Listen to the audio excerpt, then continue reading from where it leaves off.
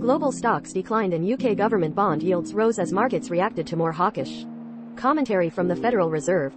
European and Asian stocks saw broad declines, while contracts on the S&P 500 signaled further losses on Wall Street.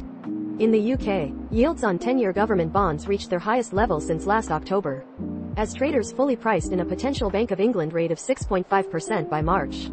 U.S. traders are also focused on U.S. jobs data this week, which will provide further insight into monetary policy. Treasury Secretary Janet Yellen is in Beijing to repair the relationship between the U.S. and China. While in China, the central bank offered support for the weakening yuan. Chinese investors are not expecting aggressive stimulus or major economic reforms at an upcoming key meeting. The upcoming U.S. initial jobless claims, trade, ISM services, job openings, unemployment rate, and non-farm payrolls data will be closely watched this week.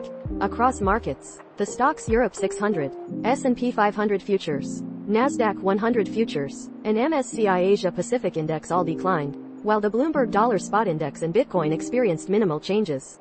Subscribe for more.